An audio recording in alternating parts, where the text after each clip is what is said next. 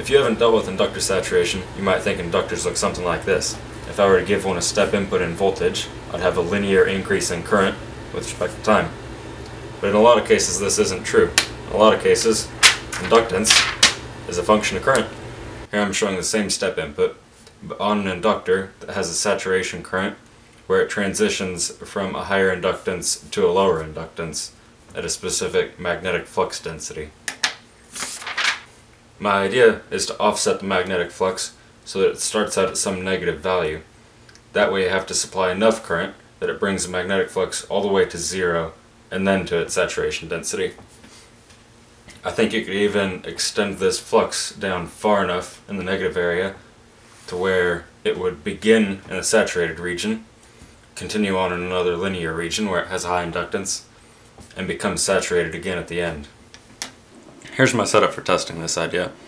I've got a resistor hooked up to an oscilloscope probe so that I can measure the current through this ferrite inductor as I'm switching it using this MOSFET and my function generator. I can put a constant current through this set of windings to create an offset on the magnetic flux through the core. Here we can see the voltage across the resistor, which should be proportional to the current through the inductor. You can see the very small region here where the inductor is acting ideally, followed by this tremendous region where it's saturated. Now if I start the DC offset and turn on my power supply, you can see that the saturation current increases just slightly. But if I continue to increase that current, the bias current, you can see the saturation current continue to increase as well as get into that region I was talking about where it starts out saturated, goes into its linear region, and then becomes saturated again right before the transistor switches it off again. Now you might think that I'm cheating somehow, that to keep a constant current flowing through this side would require an even larger inductor, and you very well might be right. This is one hell of an inductor. Because it requires such a tremendous inductor, using a constant current source to create the bias might be good for experimentation, but if this is going to be practical at all, I think I'll need a permanent magnet, like this one, which I pulled out of this. It'd be nice if I could use a rare earth magnet, but those tend to be conductive and so I'll have a heater instead of an inductor. A problem that I found with these magnets is that they're not polarized north-south or north-south.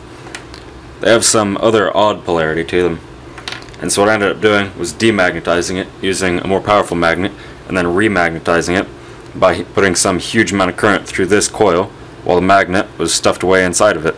My original plan was to cut this ferrite core open and stuff this magnet inside of it. Ferrite pretty difficult to cut.